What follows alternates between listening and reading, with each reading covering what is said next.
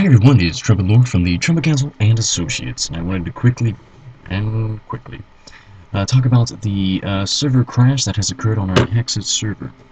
Uh, for those who have been experience have experienced that crash, uh, we do apologize for that. Um, Hexxit is a very kind of unstable uh, Tekkit uh, mod pack, and we found out that there was an error with Spectral Enderman. Uh, we thought we had all of the things that cause crashes, but apparently we didn't. So uh, we found out that Spectral Endermen apparently crashed the server like crazy, so those evil little people will won't be on the server anymore. Uh, we did fix the solution. Uh, hopefully we will get the mods back up. Well, how we had to do is we had to delete the uh, what was called the Harken Scythe, Scythe mod uh, with its add-on. We had to take them both off and what we had to do is we had to start the server, uh, verify that that was the mod that was causing the problem, as stated in the crashes.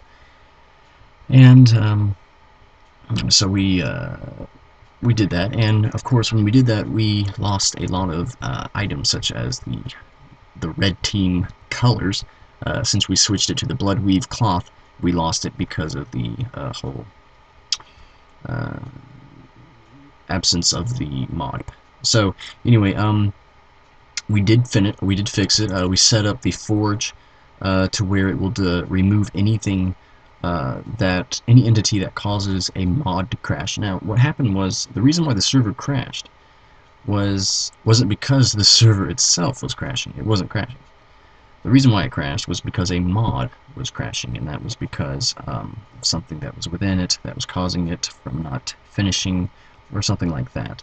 And that's what the Spectral Enderman did, and things like that. So, um, for those who faced this constant crashing thing, that was because I think we were working on some soul capturing and things like that, which caused us to have a Spectral Enderman spawn somewhere, or something like that, and uh, we can't really kill it for some reason. Uh, it's weird, but anyway, we got that all settled with. Um, we will have the mod back, and the items that you wouldn't have because of the mod's absence, uh, you will have it back because we I did a backup of the whole map uh, before the whole thing. So I'm, fingers crossed. I hope everything will be back to normal, uh, which I hope it is. And so, if there's any more crashes, I'm gonna have to go with Plan B, which means remove the mod itself, which I hope I don't do. But I know that that'll be easy to do or something. You know. Anyway, anyway, uh, just wanted to update you on that. Uh, the TCA headquarters is still there. The map is still saved, so don't worry about that.